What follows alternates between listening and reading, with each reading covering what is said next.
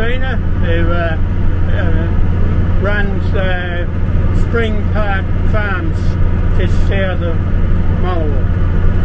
Uh, Rod, you've just bought a, a, a new farm closer to Mingenew and you've got a really big development program going on there. So what what is that? Um, so it was historically a sheep farm um, down there. So yeah, we just uh, pulling up all the fences and trying to open the place up just to make it a bit more efficient, a bit like what we do, you know, up on our sand sandplain properties. So yeah, um, 40 k's of fencing came up this week and, and some windmills and stuff, and then um, yeah, we just um, some lime down there, 8,000 tonne of lime and then uh, we also. So what's that at uh, four ton a hectare? Yeah, four ton a hectare. Yeah. Yep. So it hasn't been a lot of lime down there historically. Right. So uh, we'll just yeah we'll put four ton on to start, and then we're uh, we're deep ripping that in as yeah. well. So we've got the machines running 24 hours down there, and um, yeah, sort of. So you've got two road trains starting from uh, Dongara. Yeah. They're, they're delivering a fair number of tons a day, aren't they? Yeah, so they're doing um, between five and six loads a day each, yeah. and, and at 55 ton a load. So yeah. Um, yeah, they're sort of sitting around that 600 ton a day that they're carting, and yeah. so that's sort of yeah, we're probably spreading 550 ton a day with the um, with the agri spread down there. Right, and so the amount of fencing, the kilometres of fencing, uh, all the inner fencing you've pulled up, how much does that come to? Yeah, we pulled up. Uh, we had had a contractor in with two bobcats, yeah. and uh, yeah, thirty nine point six kilometres. He uh, he told me yeah. pulled up, so that was a little bit more than what we were expecting. Yeah.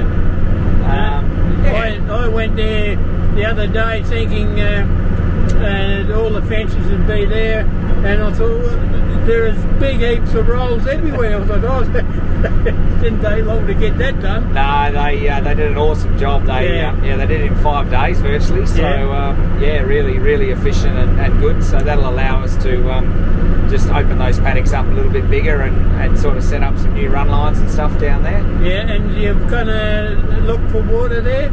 Yeah, so there's no water on the property either. So um, yeah, next week we'll have um, a water borer come in and hopefully, yeah, hopefully we can find some good water um, and hopefully not too deep. So yeah. you'd be uh, above the aqua there, wouldn't you? Yeah, I, I, guess. Yeah, and I'm not exactly sure where the yeah. Yarragadee aquifer is, but I yeah. think it's I think it's probably not far from there, or, or, it may be there. Not, yeah, I guess we'll find out this week. Now this farm's just uh, how many k's north of Mingenew, northwest?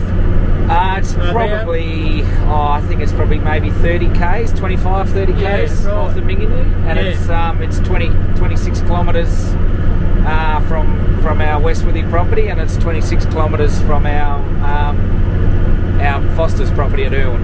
Right. So the rainfall would be pretty good there too, wouldn't it? Yeah, I think it would be higher than what we're getting here at, yeah. at, um, at Westworthy, but less than what we're running at Foster. So it's probably around that 350, right. 375 maybe. Yeah. So this year you've ripped up uh, the whole lot? Yeah, we're going to. Yeah, we're going to deep rip the whole farm. Yes, and uh, and then we will hopefully get a germination of weeds and then yeah. plant it to wheat at the end of our program. And so then, if conditions are right, you're going to mouldboard plough next year. Yeah. Yeah, that's correct. Yeah, yeah, yeah. We'll try and turn that lime into the.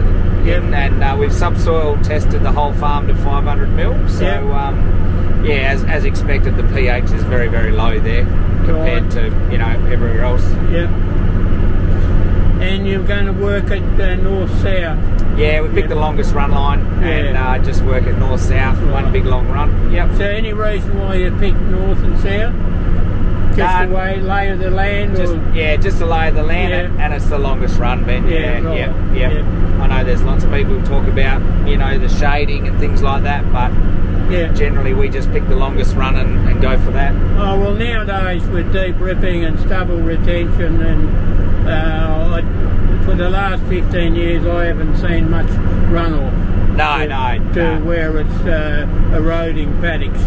No, I think with no till, you know, we pretty yeah. much there's very little runoff anywhere yeah. these yeah. days. Right. Well, Oh, well, it's good to catch up with you, Rod, and uh, have a chat with you. Thanks for that. No worries, Ben. Great to Much- see you again. Much appreciated. All good. on you. Well, uh, do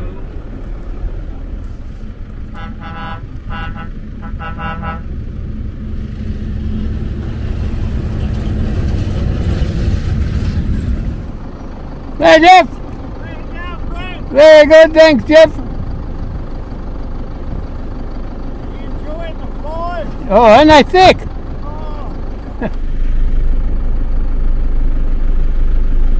Hey, how you been keeping all oh, good? Oh, you can do it from there.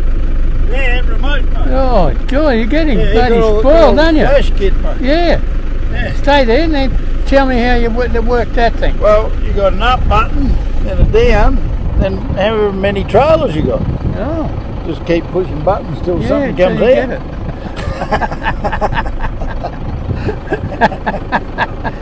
Yeah, when you want to go down, hit the down. Yeah. Makes life a bit easier, doesn't it? Yeah. yeah, especially during the week, Yeah.